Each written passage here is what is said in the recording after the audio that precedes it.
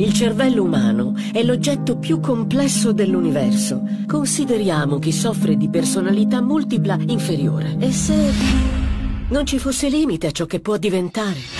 Scusi, credo sia salito sulla macchina sbagliata. Adesso il mondo capirà. Lui ha fatto cose terribili alla gente, farà cose terribili a voi.